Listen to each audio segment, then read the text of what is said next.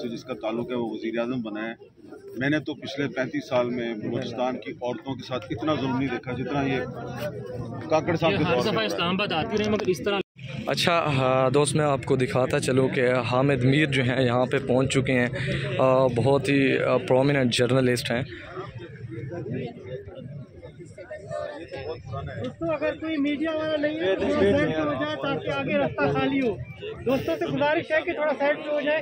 अगर कोई मीडिया वाला नहीं है तो साइड पे हो जाए थोड़ा। ताकि आगे से रास्ता खाली हो।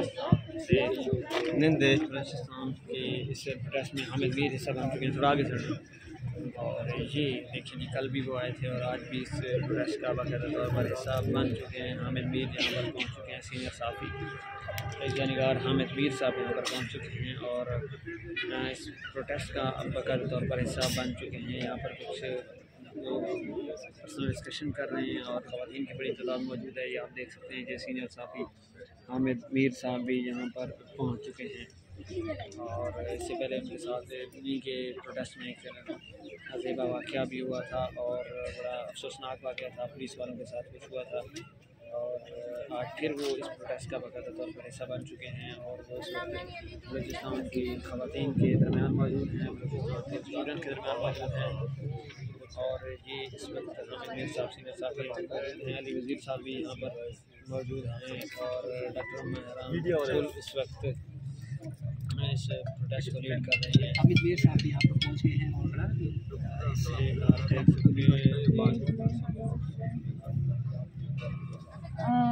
ऑर्गेनाइजेशन कमेटी के अलावा बाकी बाकी दोस्तों से गुजारिश है सब लोग बैठ जाएँ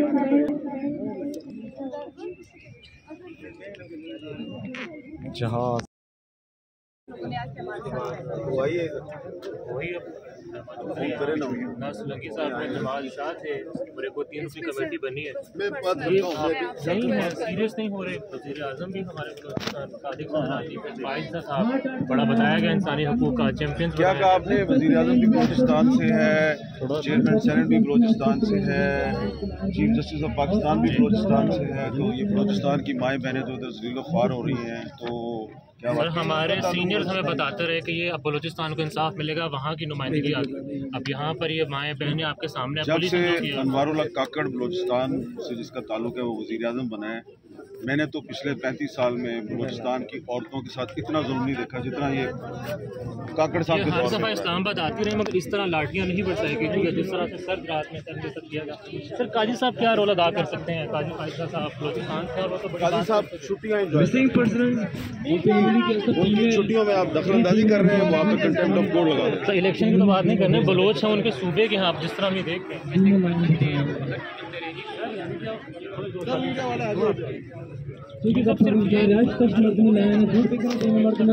ये देखें जी, हामिद मीर साहब पे सवालों की बौछार कर दी है।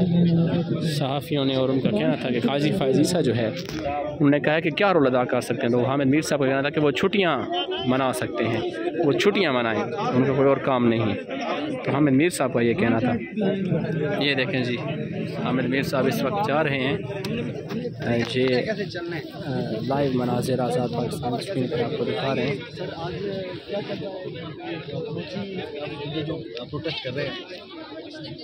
वज़ीर अजम का ताल्लुक बलोचिस्तान से है। चेयरमैन सरन का ताल्लुक बलोचिस्तान से है। चीफ जस्टिस ऑफ़ पाकिस्तान का ताल्लुक बलोचिस्तान से है। और इधर बलोचिस्तान की माएँ और बहनें जो हैं वो फरियाद कर रही हैं। कि इंसाफ दिया जाए। तो मारूल्ला काकड़ साहब को सोचना चाहिए क्या वाकई उनका ताल्लुक बलोचिस्तान से ठीक है।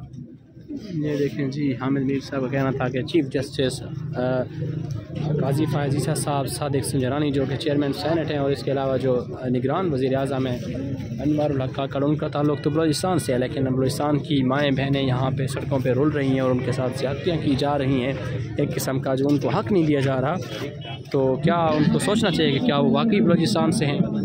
तो ये देख सकते हैं जी हामिद मीर साहब इस वक्त जो है प्रोटेस्ट में शामिल हो चुके हैं। प्रोटेस्ट को जो है बाकायदा तौर पर मीडिया की जानब से एक भारी कवरेज दी जा रही है। तो काफ़ी ज़्यादा तादाद में यहाँ पे मीडिया मौजूद है। हामिद मीर साहब भी मौजूद है। अच्छा बताओ ना आपका मसला। नाइंसाफी हुई? बताइए जी क्या हुआ है आपके साथ? बलून से सर मैं भूल तो नहीं जाता हूँ। आपका बेटा गायब है ना? अब मेरे बेटा गायब क्या नाम है उसका? उसका नाम बताओ बेटे का नाम। भतीजा है मेरा नाम मयार है चौके नाम भतीजा है मैं स्कूल अब आने का बूता स्कूल आते ही सौ बेसरा से ऐसा तालबे ताल लूट का बूता बेगा। स्कूल में पढ़ता है स्कूल से उठाया उसको?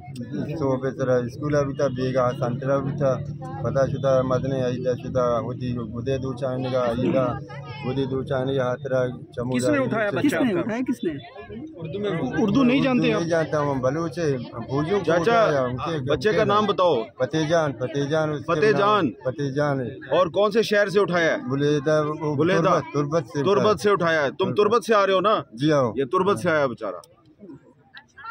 पता है कितनी दूर है तुर्बत? गवादर से भी 120 किलोमीटर आगे है। मैं नज़र क्या बोलता है फौजी बूते का नाम से माँ नज़र माँ बलूच बूते अच्छा मीर साहब आप बड़ी अरसे से मिसिंग पर्सन के ऊपर जो है बड़ी बात आवाज़ उठा रहे हैं। ये जो अभी हमारी बहनें और भाई यहाँ पहुँचे हैं जिनके लाडले इनसे बड़े जुदा किए हुए हैं ये धरनों के बाद आपको लगता है कि कोई हालात चेंज होंगे जो मिसिंग पर्सन का मामला है? यार भाई आप ये देखो ये जो बुज़ुर्ग है इसकी उम्र कम अज कम कितनी होगी? सत्तर साल हमारे ये सत्तर साल का इसकी उम्र है इसके कपड़े देखो ये पसीने पसीने से शराबूर है ये। और ये तुर्बत से आया है ठीक है? तो जब ये इस्लामाबाद में आया तो आप लोगों के शहर में इसकी जो इज़्ज़त अफजाई हुई है पहले तो उसको पुलिस ने डंडे मारे फिर पकड़ लिया फिर अब वो इधर आ गया है चलो मेहरबानी आपकी कि आपने उसको इजाज़त दी है कि वो इधर आया है। ठीक है। तो अगर ये इतनी दूर से तुरबत से आया और ये बच्चियाँ ये बूढ़ी माएँ ये वफाक पाकिस्तान से एक उम्मीद में उम्मीद इनको थी कि हमें इंसाफ मिलेगा इसलिए आए थे। आपने क्या किया? आपने उनको मारा है। आपने उनको डिपोर्ट करने की कोशिश की है।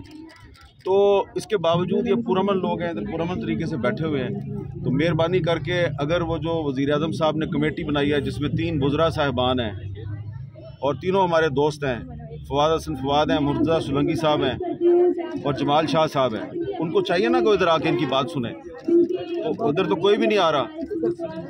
और ये पुरमन तरीके से इधर बैठे हुए हैं इनकी आगे बात सुने। मसला अगर आप हल नहीं कर सकते तो बता दें गवर्नर साहब आए हैं। बलोचिस्तान के गवर्नर साहब इधर आके बैठे हुए हैं वो तो मुझे लगता है कि उनके पास तो कोई इख्तियार नहीं है। अच्छा मीर साहब आपके साथ एक गुजशत एक वीडियो वायरल हुई है।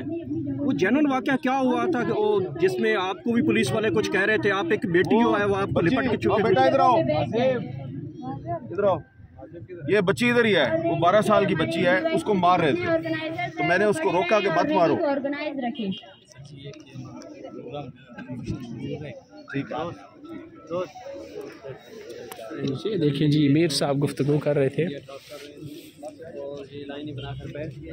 यहाँ पे इस वक्त जी बिल्कुल एक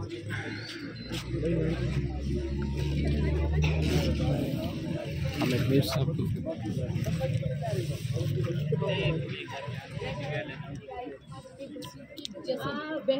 सबसे गुजारिश है कि आप सब लोग बैठ जाएँ लेकर जा रहे थे ना कि वहाँ हमें इंसान समझा जा रहा था।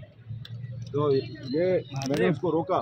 हमें बाकायदा तशद भी किया गया हम ज़बरदस्ती बिठाने के बावजूद तशद हम पे बहुत ज़्यादा किया गया।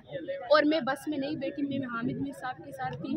फिर इन्होंने इनसे मुझे घसीट के मुझे अंदर लेकर गए।